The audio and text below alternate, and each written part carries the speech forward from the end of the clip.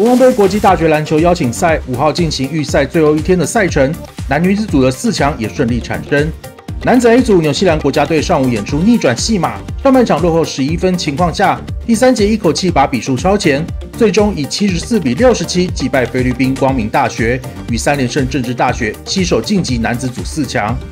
而女子 A 组，日本名古屋学院大学以六十六比三十八轻取马来西亚代表队，三连胜姿态拿下分组第一。其他三队，马来西亚、纽西兰与台湾佛光大学同为一胜两败。经过比较得失分差后，纽西兰取得四强另一个席次，佛光大学获得分组第三，将争夺女子组的第五名。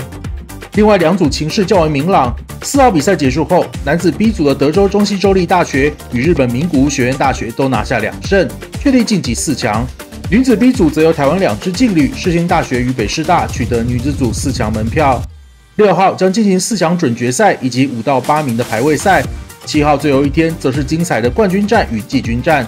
欢迎球迷进场帮选手加油打气。人间福报张哲颖高雄报道。